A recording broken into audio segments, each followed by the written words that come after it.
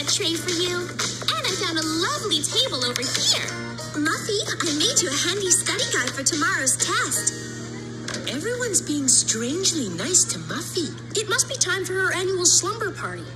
Yeah, she's probably planning all sorts of girly things. Well, at last year's party, they dressed up in costumes and jewelry.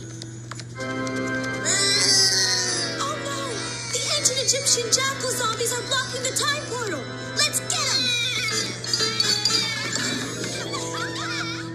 Like I said, girl stuff. And her parents arranged for acrobats from the Peking Circus to perform.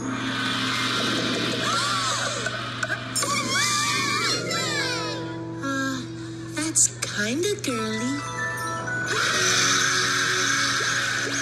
And they imported the newest video arcade games. And there was an ice cream machine and a fireworks and laser show. And there was. Okay, okay. How can I get my invitation? You can.